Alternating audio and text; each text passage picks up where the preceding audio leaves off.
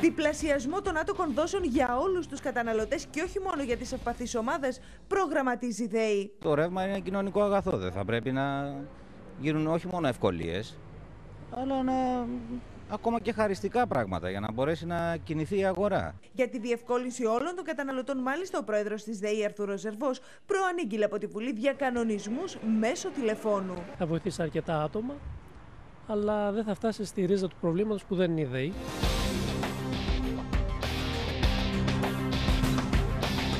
Με προκαταβολή με το 25% της αξίας του ρεύματος και όχι του συνολικού λογαριασμού και με δόσεις που μπορούν να φτάσουν και τις 40, θα μπορούν να ρυθμίζουν τις οφειλές τους άτομα που ανήκουν στις ευπαθείς ομάδες.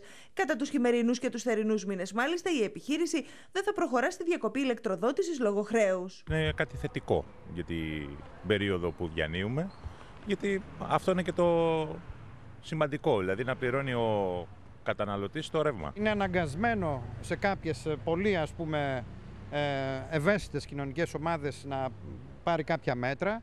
Ωστόσο όμως το ίδιο το κράτος είναι που βούλιαξε την κοινωνία ολόκληρη. Ποιοι ανήκουν στις ευπαθείς ομάδες, όσοι έχουν εισόδημα έως 12.000 ευρώ, οι τρίτεκνοι, μακροχρόνιοι άνεργοι, άτομα με ειδικές ανάγκες και μηχανική υποστήριξη. Δεν θα πρέπει να είσαι του θανατά, να το πούμε έτσι απλά, για να μπορέσεις να ενταχθείς σε αυτό το πρόγραμμα. Όταν ε, λένε ότι υπάρχουν ε, κάποιες ευκολίες για αυτούς τους ανθρώπους, για αυτές τις ευπαθείς ε, οικογένειες και τελικά κάτι θα βρούνε και θα το ακυρώσουν, δεν νομίζω ότι γίνεται κάτι. Ανάσα χαρακτηρίζει το μέτρο μακροχρόνια άνεργος Κωνσταντίνος Τσομπάνογλου. Όλες οι οφειλές πληρώνονται με δανεικά μας λέει. Κάθε μέρα και κάτι καινούριο.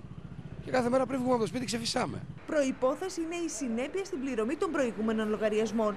Όσο για τους ασυνεπείς, θα μπορούν και αυτοί να έχουν ευνοϊκότερη ρύθμιση με λιγότερες όμως δόσεις. Με διαδικασίες εξπρέ προωθεί η κυβέρνηση την ρύθμιση